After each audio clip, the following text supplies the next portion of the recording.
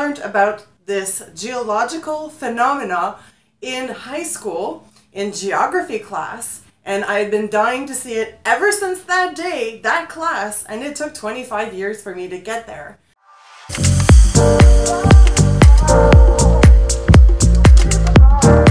Hi there, culture eaters! How are you doing today? I hope again that you're having a fabulous day wherever you are. And we are back today for another Travel Talk Tuesday. This week's topic is what is one of the most interesting thing you have ever seen in your very own country?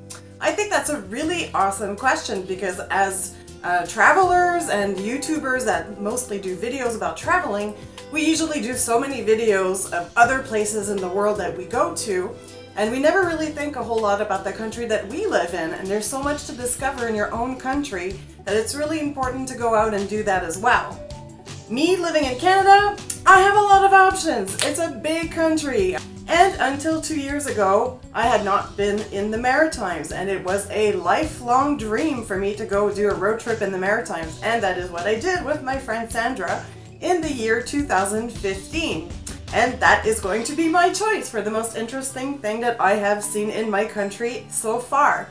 I literally waited 25 years to see this attraction. I learned about this geological phenomena in high school in geography class and I had been dying to see it ever since that day, that class, and it took 25 years for me to get there. What I am talking about is the Bay of Fundy, which is known as having the highest low to high tide ratios in the entire world. We specifically went to the Hopewell Rocks visitation spot they are also known as the flower pot rocks because they resemble flower pots a little bit with the greenery on top of the rocks. And there, the tide is measured to go up and down 10 to 14 meters twice a day. The average low tide, high tide difference around the world, just an average, but is usually around one meter. So that is a 10 to 14 times higher tide level than everywhere else on the planet. We made sure to go to see both the low tide and high tide on the same day. They occur approximately every 6 hours and 13 minutes. Of course, it varies by certain temperature elements, geology elements, and the moon cycle. At low tide, there is about a span of two kilometers that you can actually walk the ocean floor. It's an absolutely unique experience. And you see these rock formations that you saw like little islands earlier floating are now standing perched on these rocks that are slowly eroding with time. It's absolutely magnificent. I will show you now a picture that's a combination of both low tide and high tide so you can see the difference.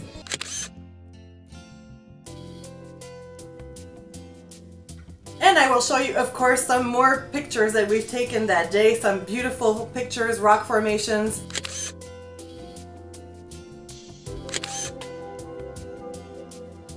You will see one where my friend Sandra is standing at the opening of a cave and the next shot is a picture taken from inside the cave out. It's just absolutely amazing.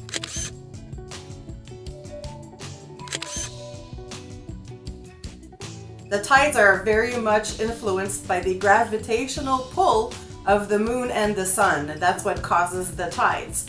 There are about 100 billion liters of water coming in and out several times a day in the Fundy Bay. It's amazing to see nature at work so powerful like that. It's an incredible sight to see. So make sure that if you have a chance and you are in the Maritimes in New Brunswick, go check out Hopewell Rocks. It's really, really worth it. And geology and the planet is always at work. In 2015, one of the biggest formations, the Elephant Rock, actually collapsed. They estimate that 100 to 200 tons of rock collapsed. So it's constantly evolving and changing. So if you want to make sure that you see it in this lifetime, don't hesitate and plan to go. I am putting a link below to the tide levels as well. If you do go, always make sure to check the tide levels for that specific day. So that's it for today's Travel Talk Tuesday. I hope you really enjoyed the subject. Make sure to check out the links below to the fellow travel YouTubers that are participating, and there will also be a link to the playlist. And before you go, make sure that you like this video. Make sure to subscribe so you don't miss any new videos to come and leave comments. I love to hear from you guys. Tell me what's the most amazing attraction that you have seen in your own country. Until then, I will see you soon with a new video. Mwah! Take care.